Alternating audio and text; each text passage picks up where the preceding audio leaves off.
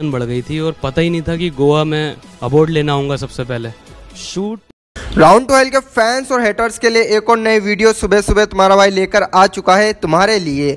तो अभी तक हमने ये देखा कि राउंड टू हैन ने best comedy creator of the year का अवार्ड जीता और ये वीडियो सभी ने दिखाई। ऑब्वियसली मैंने भी अपने चैनल पे दिखाई और आपका जो प्यार मिला उस वीडियो पे, उसके लिए बहुत बहुत थैंक यू अब बात कर उस अवार्ड को मिलने के बाद जो उन्होंने इंटरव्यू दिया था उन्हें, उन्होंने इंटरव्यू में क्या बोला है वो हम आपको डायरेक्ट दिखाएँगे। हमारे मुँह से इतना अच्छा नहीं लगेगा जितना कि जैन भाई, वसीम भाई और नाजिम भाई के मुँह से लगेगा। चलिए वो वीडियो हम आपको दिखा देते हैं। मज़ा एकदम।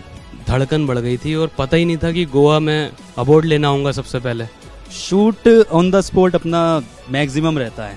बाकी लिखने में तो होता ही है pre planning but on the spot जो निकलता है वो ज़्यादा बेटर निकलता है। ऑलमोस्ट सभी होती है।